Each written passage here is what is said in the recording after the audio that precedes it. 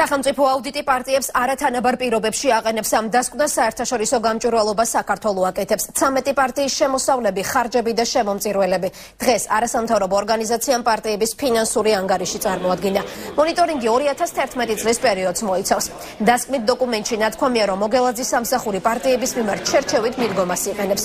მაგალითისთვის თუ მაკონტროლებელი ნაციონალურ მოძრაობას შემომწირველების მისამართებს საერთოდ არ სთხოვს ქართული ოცნება ვალდებულია რომ ყველა დამფინანსებლის კოორდინატორი კანდიდატები წარადგინოს. ამავე ანგარიშით ბიუჯეტიდან დაფინანსების მხრივ მართველი პარტია ლიდერობს.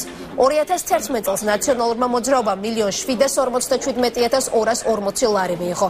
მას მოსდევენ ქრისტიან-დემოკრატიული მოძრაობა და ლეიბორისტები. ჩვენი ანგარიშიდან ძალიან ძნელი იყო ჩვენთვის გადაგვემოწმებინა ნაციონალური მოძრაობის შემომწირველები, რამდენად მართლაც შესწირეს თუ არა მათ პოლიტიკურ პარტიას, რადგანაც კონტროლის პალატამ დაფარა თავის ანგარიშებში დაფარა მათი მისამართები და ვინაობა, რაც იმ წელს კანონის დარღვევა იყო. წელს ეს უკვე კანონით აღარ არის სავალდებულო, თუმცა ვინაობა ნამდვილად სავალდებულო არის და ზოგ შემთხვევაში ჩვენ ვინაობები ამ წელსაც არ ვიცით.